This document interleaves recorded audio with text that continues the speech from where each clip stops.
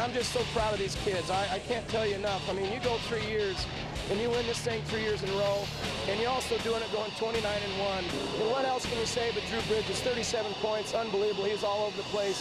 You know, it was important for us to come back. You know, that's how good of a team we are to come back and do that to a team like that.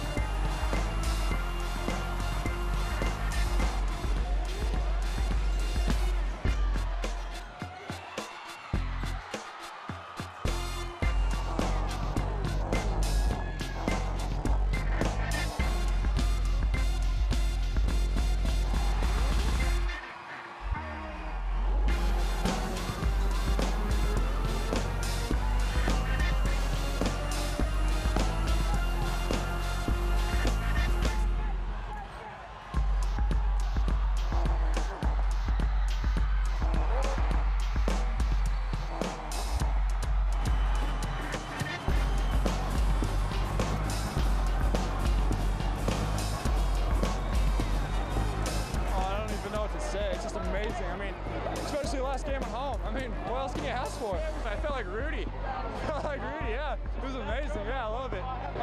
Cow, holy cow, holy cow. we won. Uh, maybe like have a little team dinner tonight, celebrate.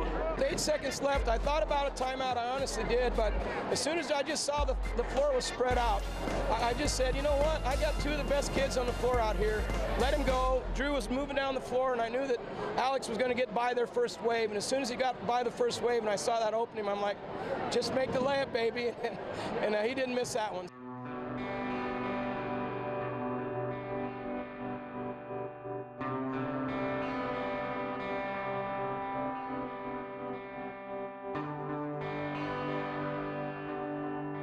I've enjoyed uh, every step of this journey in basketball. I, I really have. I, I think, uh, you know, over the 33 years of baseball, girls basketball, and, and, and the basketball with the boys has just been a blast for me.